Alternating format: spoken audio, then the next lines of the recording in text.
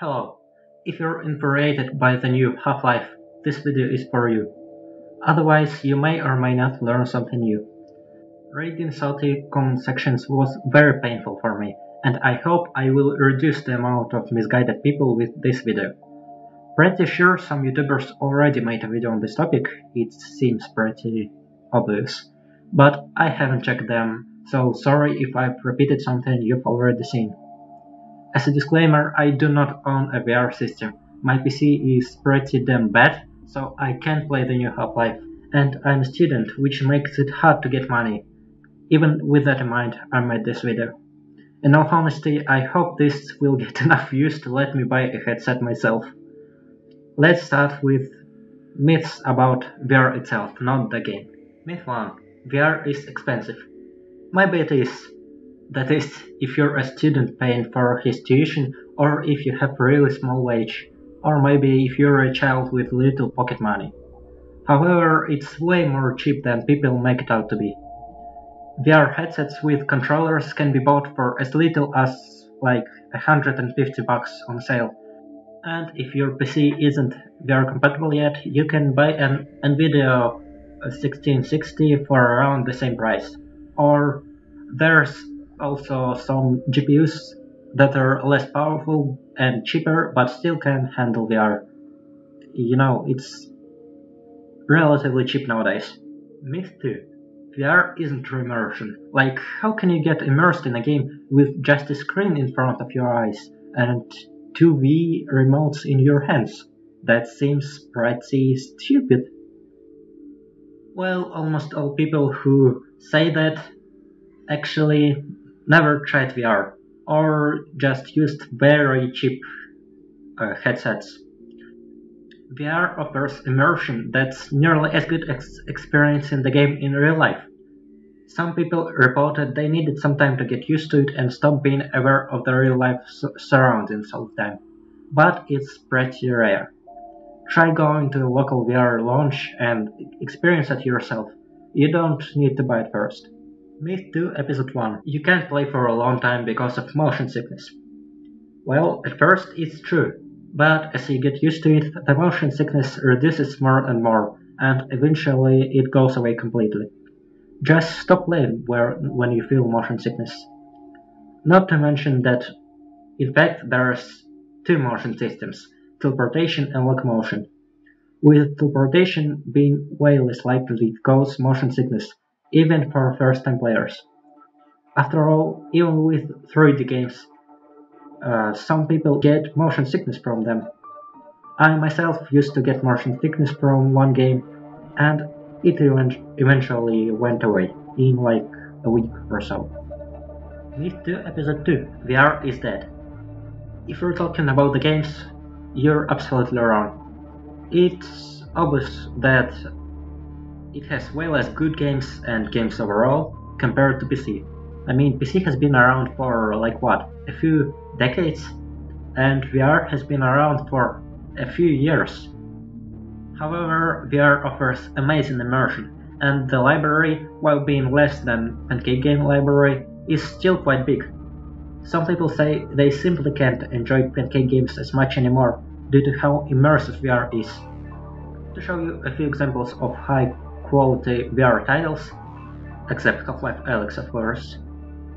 Uh, soon to be released Boneworks, Medal of Honor and Sniper Elite games, uh, probably the most well-known VR game Beat Saber, Pavlov VR, which basically lets you experience Counter-Strike in VR, an RPG Asgard's Wrath, Stormland, and way more lesser known games that are still incredibly fun, as well as ports like Skyrim, Elite Dangerous, The Forest, Payday 2.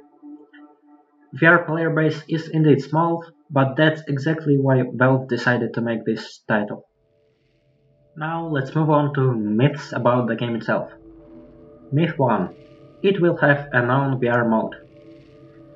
Well, some enthusiasts will probably mod it to have support for non-VR systems. However, given the immersion VR provides, it will simply be detrimental to the game experience. Like highly detrimental. VR games don't work as well in non-VR because of all the possible interactions. To give you an example, 10 years ago, Gabe Newell said the new Half-Life game will have sign language, and while a selection wheel like in Portal 2 can be implemented, doubt it will be as fun. Similarly, with VR, you can take cover, shoot at any direction, have realistic gun handling, and probably way more than I could ever think of. The game will have gravity gloves. It will probably be a more fun version of Gravity Gun for VR, I can't imagine it being as fun without VR.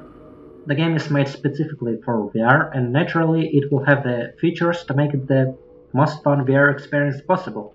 And and it definitely wouldn't be considered a really good, outstanding game for conventional systems.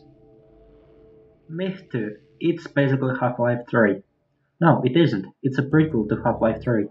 It will not show you the conclusion to the main story, it will only focus on the gap between Half-Life 1 and 2.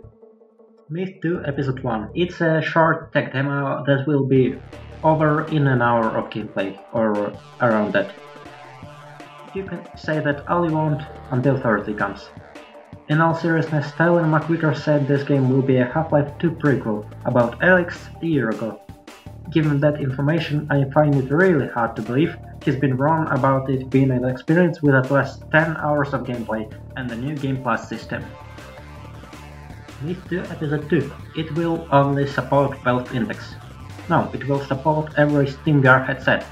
In fact, it has been announced earlier this year around the release of Valve Index, but the name has been revealed only now.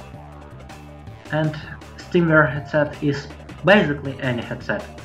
Valve has always been open about this kind of stuff. I mean, they support Linux and all that. With Alyx, it's made to push index or maybe it's made to counter Epic Games or whatever. No, it's made to push VR. It's a good, a really good and outstanding and amazing, the best ever probably VR game. It's made to push VR. Index is made to push VR as well. Index is setting a standard of good VR gear, and Half-Life is setting the standard of a good VR game.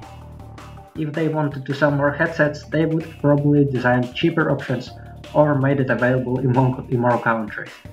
Half-Life franchise has always been about pushing the boundaries of technology. You can easily say both Half-Life and Half-Life 2 revolutionized the games industry. This seems like a good time to show you some historic reference on Valve, VR and Half-Life to prove that it's not enough to talk, and it goes back to the time Episode 3 was in development. Valve has always been jealous of Nintendo. After all, they make both hardware and games, which allows them to give you the best experience by making hardware for games, not the other way around. During the time they were working on episode 3, they started thinking about ways to give the players more ways to immerse themselves into the game. In 2007, David Speyrer mentioned really ambitious plans for episode 3. The first thing they patented in 2009 was using biofeedback systems for games. Around the same time, Gabe Newell mentioned he wants to build the technology to implement sign language in the new Half-Life game. So, uh, the idea is that before Alyx met Gordon Freeman, this is only for people who understand Half-Life, that she had a crush on someone who was hearing impaired. So she taught Dog how to sign so she could practice. And even though she's, you know, something happened, maybe that the that person is off fighting the combat someplace else. But that's why she and Dog would start signing with each other when they wanted to communicate without making noise or communicate without other people knowing. So that's an idea of adding, you know, starting to uh, bring signing into our games and give us the excuse to build the technologies to build the technology for signing. The most important thing with a game is to capture the deaf, both hearing and deaf emotions by using facial expression in the game. Now time skip to 2013. Oculus Rift has been shown to the public. It's unknown whether Valve researched VR independently before it, but the fact is by 2013 they've done a lot of research and filed the first patents. I'm pretty sure that by the time they clearly want to make the next Half-Life game a VR title. Since then, Valve has always been a major contributor to the VR industry. Valve has said a lot about VR and Half-Life in a roundabout way over the years.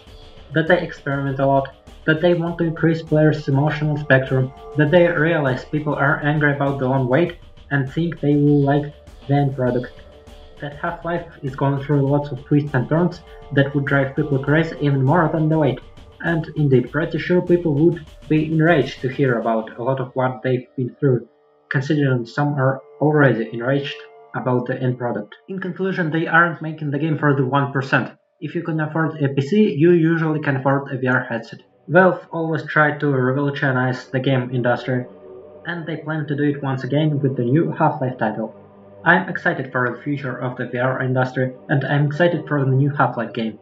Their move is no different from how consoles have exclusive games, except you don't even have to buy their headset, you have lots of options available, so they only move the technology forward, not their products.